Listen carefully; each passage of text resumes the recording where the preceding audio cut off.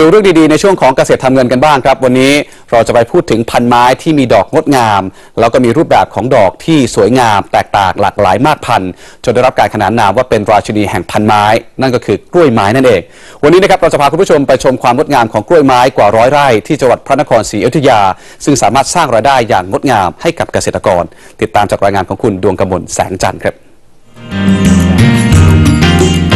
คุณลุงมานิดแย้มประยูนเกษตรกรวัย 76 ปี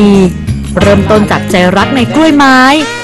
ลงทุนปลูกกล้วยไม้กับเงินทั้งหมดที่มีอยู่ 4,000 บาท บนที่ดินสองไร่ เพราะความขยันอดทนทำให้คุณลุงมีลูกค้าเพิ่มขึ้นเรื่อยๆ จนสามารถขยายจากสองไร่เป็นร้อยไร่ พัฒนาขยายสายพันธุ์ใหม่ จนสร้างชื่อเสียงระดับโลก สร้างรายได้หลักแสนบาทต่อเดือน อันนี้เรามาเลี้ยงม็อกมิคล่าเนี่ยหนึ่งช่อก็ขายได้เนี่ยอย่างเงี้ยช่อละเจ็ดบาท ตัดยอดยอดแล้วก็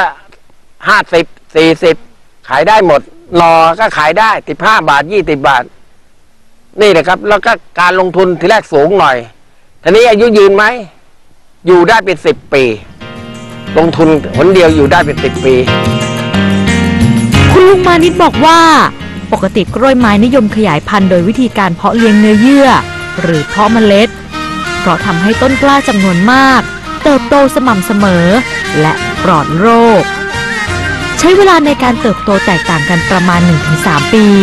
แล้วแต่ชนิดของพันธุ์และสูตรอาหารตลาดส่งออกกล้วยไม้ตัดดอกที่สำคัญ ได้แก่ตลาดยุโรป อเมริกา ญี่ปุ่น เวียดนาม และเมียนมา ซึ่งสีสันที่แต่ละภูมิภาคชื่นชอบก็จะแตกต่างกันไป อย่างยุโรปจะชื่นชอบกล้วยไม้สีแดง ส่วนตลาดญี่ปุ่นจะชื่นชอบกล้วยไม้สีม่วง ขณะที่การเปิดประชาคมอาเซียน ก็เป็นอีกโอกาสในการขยายตลาดของกล้วยไม้ไทย ของเราประเทศไทยมีสามฤดู ของเขาภัยธรรมชาติดูดิฮะฟิลิปปินส์เวียดนาม ทั้งจีนทั้งอะไรเนี่ย เยอะมาเลเซียพม่าภัยธรรมชาติมันเยอะของเราภัยธรรมชาติไม่ค่อยมีนะเดี๋ยวผมว่าลุงโชคดีที่เกิดผืนแผ่นดินไทยนะภัยธรรมชาติก็น้อยการเลี้ยงกล้วยไม้เป็นวิถีชีวิตและภูมิปัญญาของคนไทย และยังสามารถแข่งขันได้ในตลาดโลก เพราะกล้วยไม้ไทยเป็นที่ต้องการของตลาดโลก และไทยเป็นผู้ส่งออกหลัก อีกทั้งรัฐยังมีนโยบายส่งเสริมที่ชัดเจนในระดับชาติทำให้อนาคตยังเป็นสินค้าเกษตรที่ยั่งยืนของเกษตรกรไทยได้อีกนาน